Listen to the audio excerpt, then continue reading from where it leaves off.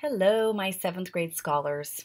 I'd like to go over just a couple of things, this shouldn't be more than about two minutes, about Cyrano de Bergerac. Cyrano de Bergerac was a real person. What? Yeah, he was a real person. I'll tell you more about that later. Edmond Rostand, who wrote Cyrano de Bergerac, wrote it in 1897. So here's a piece of information right here. So he lived in Paris, France, and he wrote it in 1897. Well, the play actually takes place in 1640 and 1655. That's Act 5. So 1640, which is way earlier than his time. So he's writing a historical piece um, during his own uh, time. So the play, as we know, takes place um, in in Paris at this hotel. It starts at the hotel, but some some things to know about this time period is that there's the Thirty Years' War going on in France, and this is a war that's fought against the Holy Roman Empire, mainly over trade routes.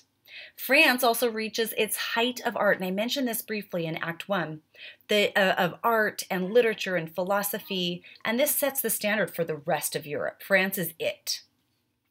Cardinal Richelieu is recently has recently founded this French Academy. And the French Academy is a society of intellectuals and writers. And this becomes really important as uh, Cyrano is a writer, and so is Ragueneau and a lot of the other poets during this this time. Christian doesn't feel very smart. He doesn't feel like an intellectual, and he knows that Roxane is very, very into that.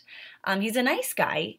He's just not that bright or or well versed in these things. So literature and poetry are discussed at intellectual gatherings called salons, which were popular among educated aristocratic women like Roxane and usually took place in the homes of such women.